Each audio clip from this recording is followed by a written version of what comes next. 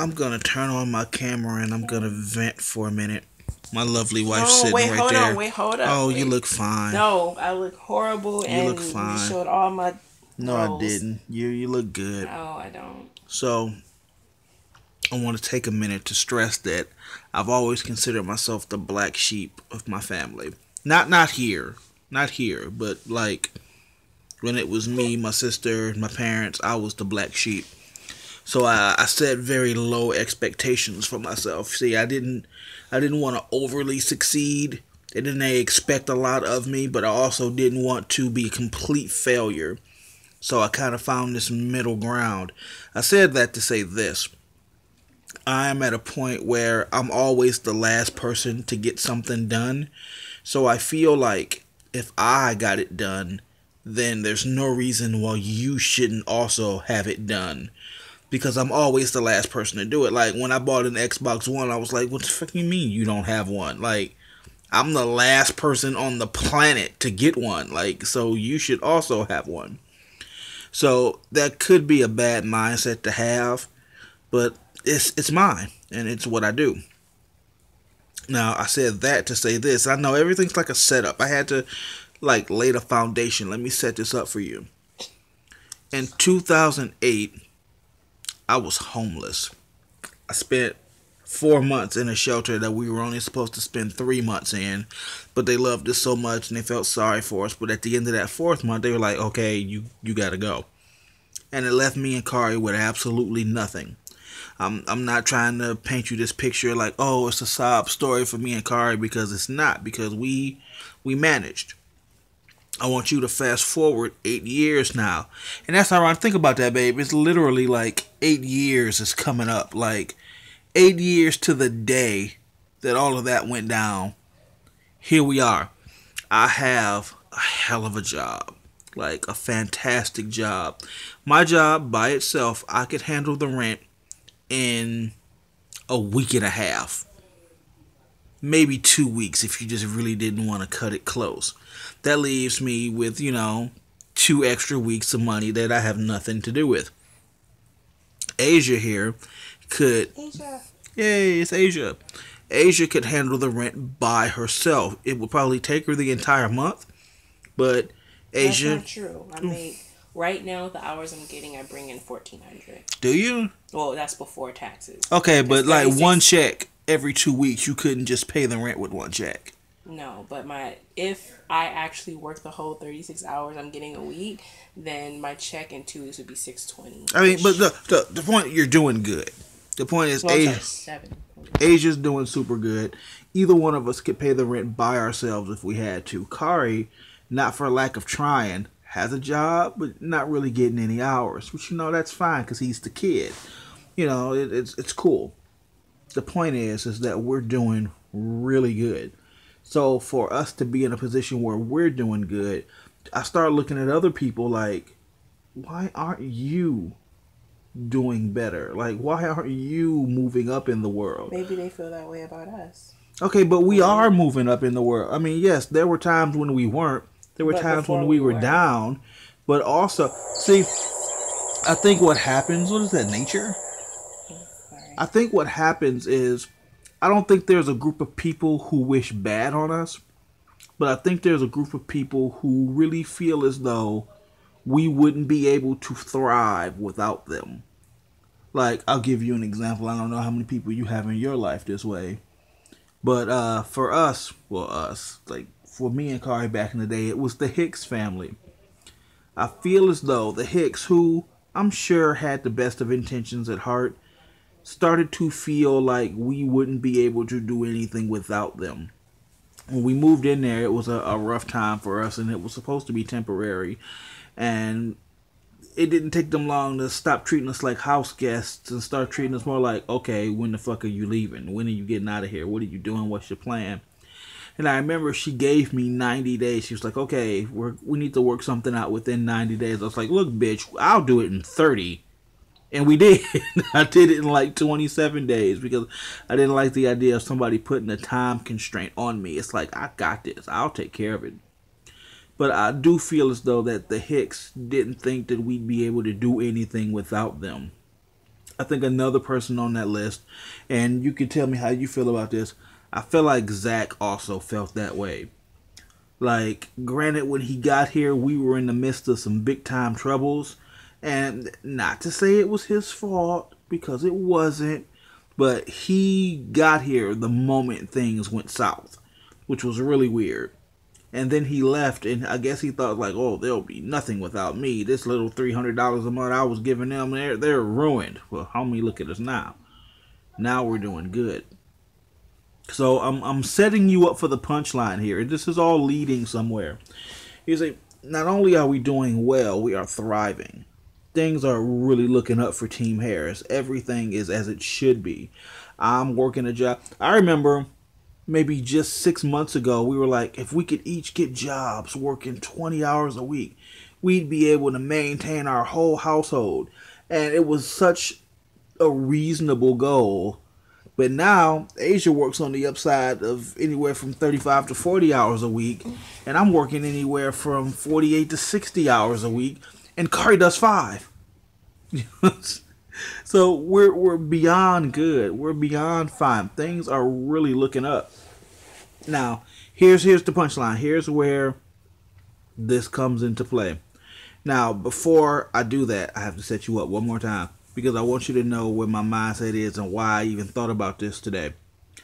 Uh, an older woman came up to the station today, and I said, you know, my typical good morning, ma'am. How you doing? Oh, I am blessed. Thank you, Lord Jesus. I'm so thankful to see another day. I'm like, you know, it's fucking awesome. You know, that's cool. And I, I'm I'm ready to shake it off and move on. So she's like, "Can I show you something?" I said, "Sure." So she whips out her phone and she shows me a picture of her now adult son, maybe mid 20s. And she, this is my son. He's been missing for six months. It's like, oh man, wow. You know, that's fucking terrible. Sorry to hear that. And she said, we filled out a missing report, persons report, but man, we keep praying to Jesus that the Lord will see us through this difficult time and that my son will be returned to us. And oh, with the with the grace of Jesus, everything will work out. And I hope that God is keeping my son warm and safe and blessed wherever he is, and that the Almighty Savior will help us find a way. And I'm like, look, lady, he's missing for six months. First of all, he ain't missing. He's a grown man. He left. All right there, there's no such thing as a 20 year old man missing. He's like, he just decided he didn't want to fuck with you no more. I'm not going to say that. You know, I'm forever the optimist. I want her to, you know, live with the hope that maybe it's going to work out for her. But in my mind, I'm like, look, lady, he he met a girl, probably somebody you didn't like, and he just left. And, you know, whatever.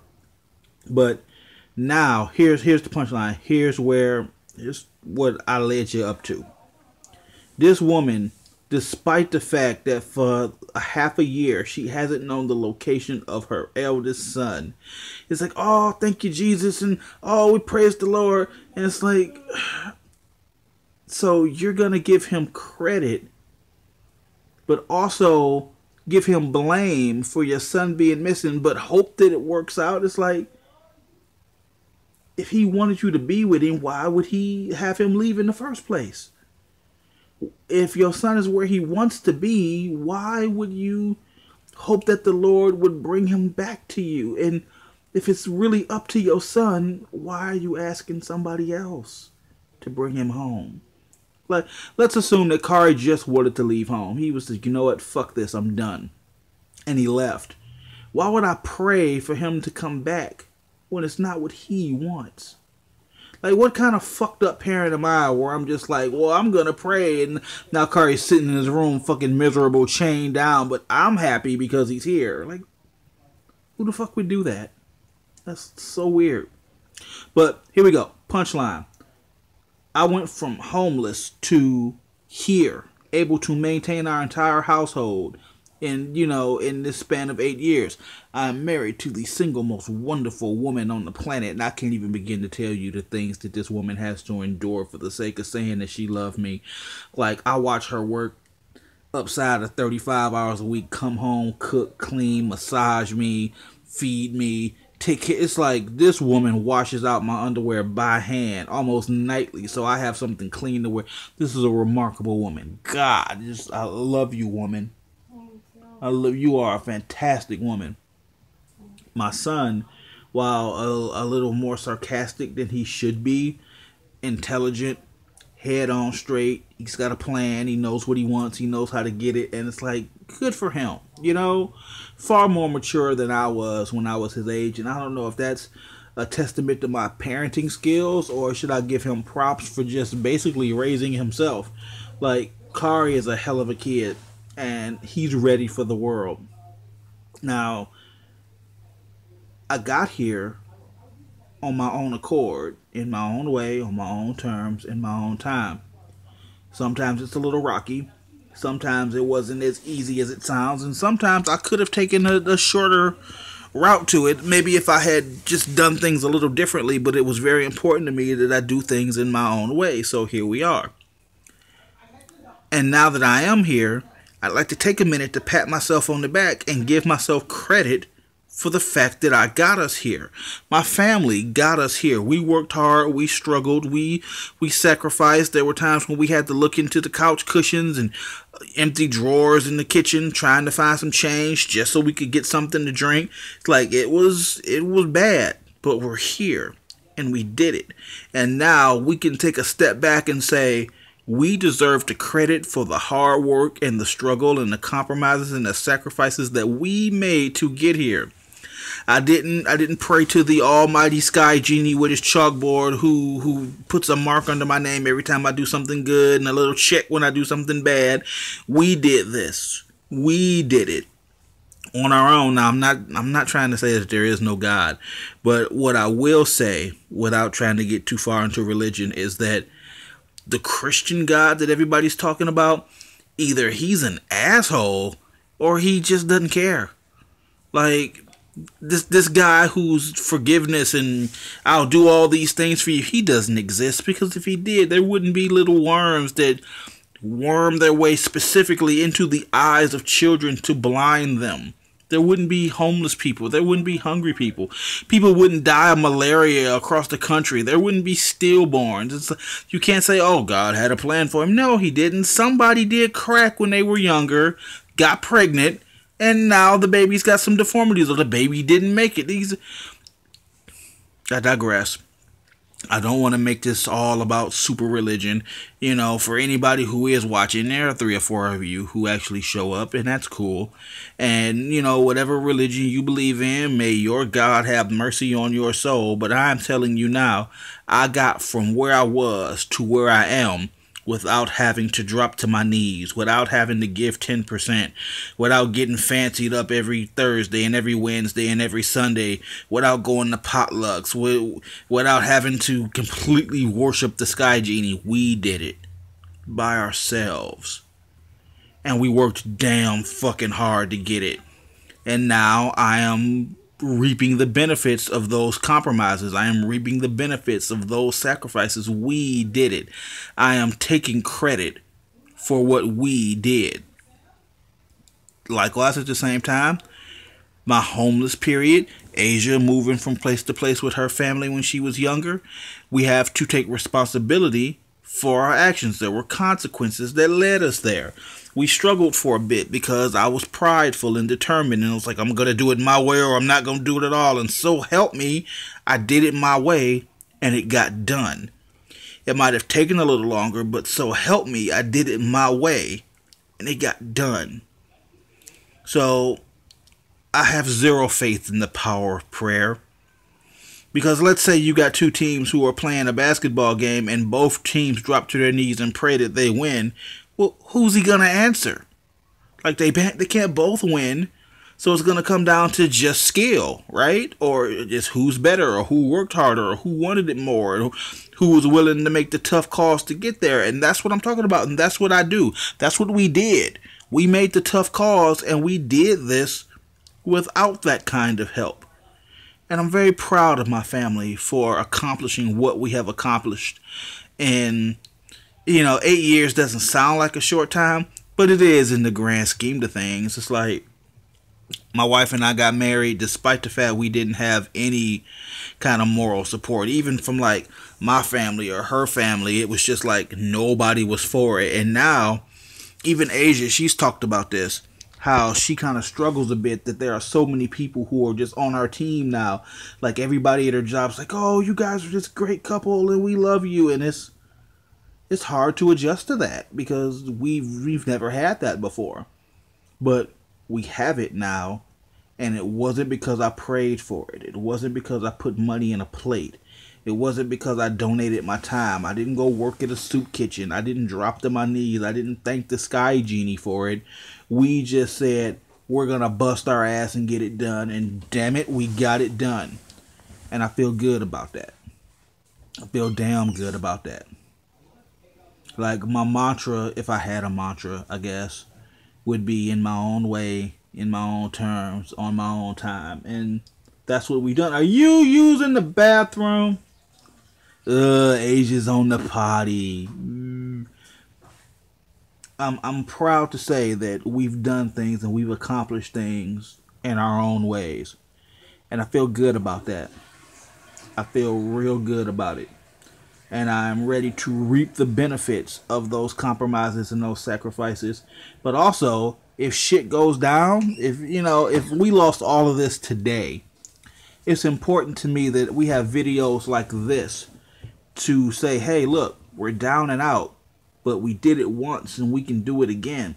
See, two years ago, we would have thought that my job at DSP was the definitive job. It was like, oh, look, we can do it. We're doing it. We're paying all the bills and things are good. And then we lost it. And now we're here. And now we're doing it bigger and better than we had ever done it. And it's like, if you work hard enough, if you're willing to put in the effort for it, if your effort doesn't include dropping to your knees and hoping somebody else does it for you, it can happen. It'll get done. And I take great pride in that. I love you. You're you're a good woman. And you put up with me for a very long time. And now it's like now we made it. And and we did it. And we did it in, on our own terms and I feel good about that. So that that's really it. That's that's the conclusion that I was trying to lead you guys to. I feel I feel damn good about our situation right now and in a year from now, I'll love to look back at these and go, "Hey, things are better than they were." Or things are a little worse off than they were. But whatever comes, I accept it because it's my own doing.